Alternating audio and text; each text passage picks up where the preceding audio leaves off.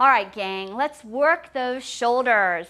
I'm Carol Ann with Studio Group X, and I'm going to show you how to do the overhead press using the barbell.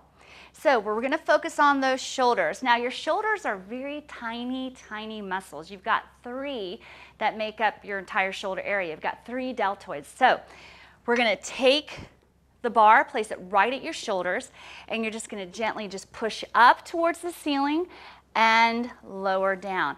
Now make sure that you do not have a break in your wrist like this. Keep your wrist straight to your shoulders and push up. Now you want to try to avoid pushing that weight up all the way directly above your head. Keep the bar slightly more forward than your head. That way you won't injure your shoulders.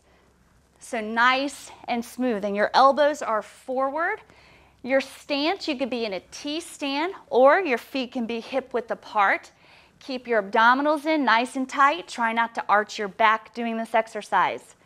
You can change the rhythm. You can go up super slow for four and super slow down for a count of four.